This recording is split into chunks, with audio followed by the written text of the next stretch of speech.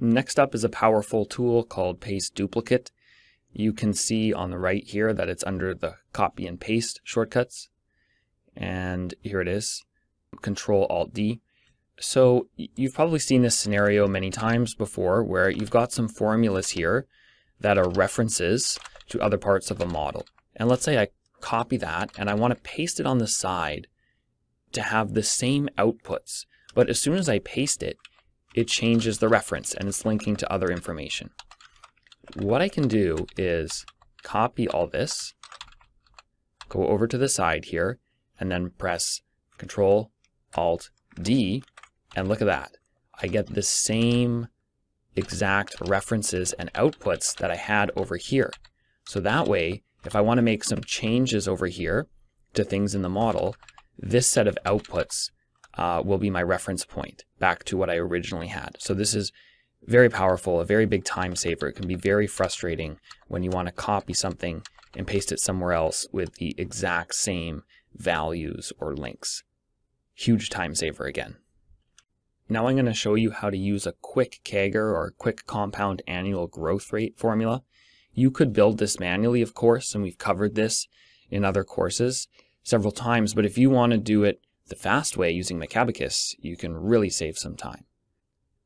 All you have to do is put your cursor next to the row of data that you want to calculate the CAGR on, in this case, sales.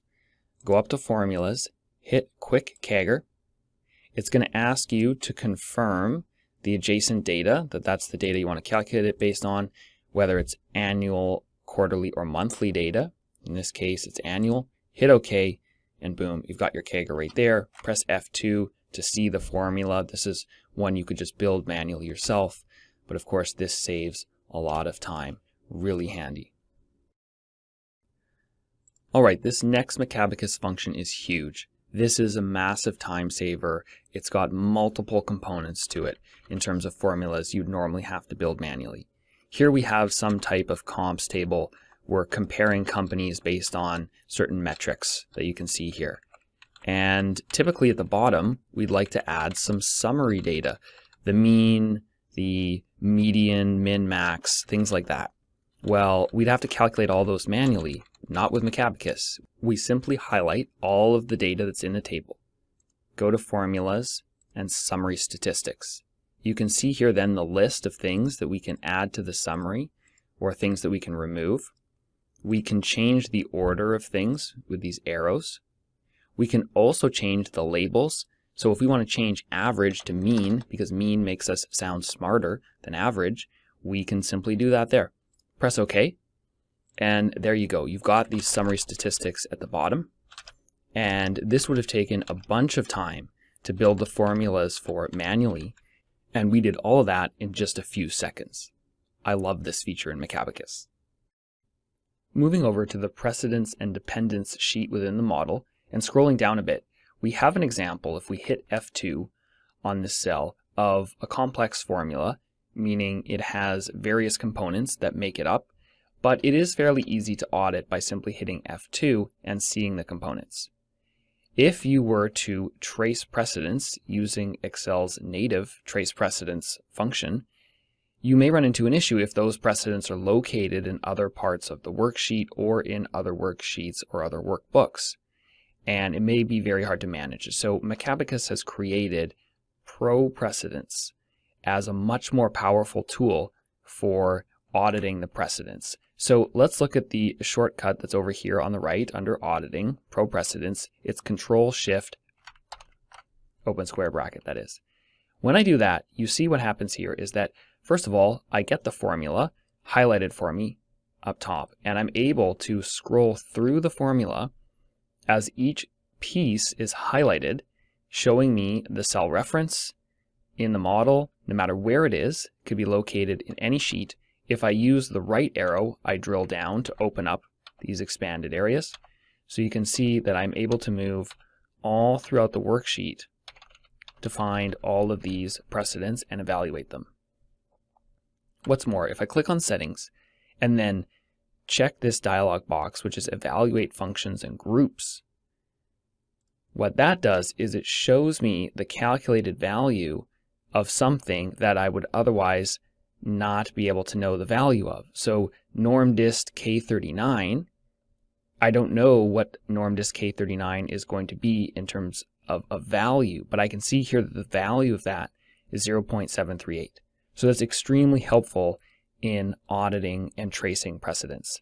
There's a lot more here, but this is enough to get you going with ProPrecedents, a very powerful auditing tool in Macabacus. Let's see how you can be way faster and way more effective at building charts with Macabacus. If we go into the charts area and click Insert from Library, we see here some sample charts that are preloaded and that we can grab to build a chart off. You can also create your own custom chart templates and share them with team members and save them here in Macabacus. Let's click on floating bar as an example. So if we click on this example and insert you can now see that we've got the chart template inserted. So that's great. That saves us a bunch of time. But perhaps what's even more important is that it comes with a set of properly structured data. This is the part that can be tricky to figure out with some of the more advanced types of charts and graphs in Excel. How do you set up the data to populate the chart? Well, Macabacus solves all that for you. Now all you have to do is go in and replace these values or these labels with the data that you want to use in your chart. So as you can see, the library is a great way of sharing formatted charts with your team and of getting this structured data in place so that you can quickly load in your own chart. A huge time saver. Let's look at another charting example. We'll go into charts, quick charts, where we have some of the most frequently used charts in finance and consulting let's use a football field chart.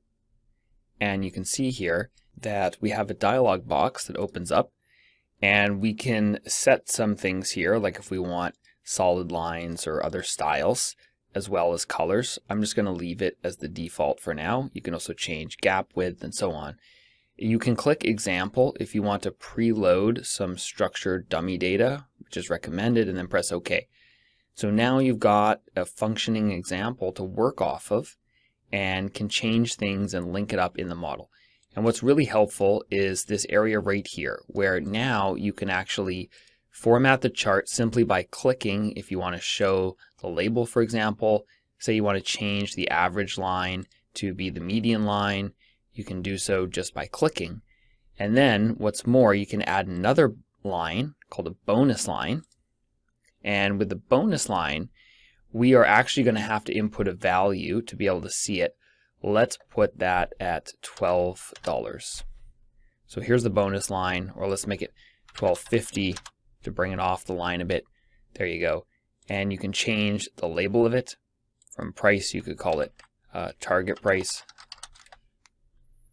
And there you have it. So this is a super easy and fast way to get amazing looking football fields in Excel without going through the native formatting process that can be very, very slow. You'll also notice that these lines that extend here span the entire width of the chart. If you were to do this natively in Excel, it would go from the midpoint of this column to the midpoint of the last column, and it looks a lot nicer and tidier here when it extends for the full width of the chart. So Macabacus has paid enormous attention to all these little details that add up to make fantastic charts and graphs. All right, let's take a look at some more advanced charting tools. You can see here that we have a stacked column chart. Let's imagine that these different series are revenue uh, or lines of business that add up to a total consolidated revenue figure for a company. This is a very common type of chart that you'll see in finance. And we want to show a total across the top. Now, normally this is very hard to do in Excel. You have to add a secondary axis and you have to add up the total here, put on a secondary axis, change it to a different type of chart, remove the line. We've covered it in other courses several times. It's quite a few steps. With Macabacus, we can do this very rapidly. Let's go into charts and add-ons. And here we can add stack total for columns. Press OK. And what's incredible is you can see that it's actually added in the formula to give you the total here, and then it's inserted it into the chart. So that was done in about a couple of seconds. It would have taken several minutes to do manually. Now let's do another popular type of add-in for this chart. We're going to add a growth arrow. The growth arrow is a compound annual growth rate.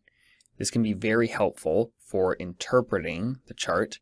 And there are several different styles that we can choose from. You can have the elbow style, it could be an angle or flat, whatever you prefer. You can also, of course, change the color. You can change the weight of the line and so on. You can change it from annual to another time period.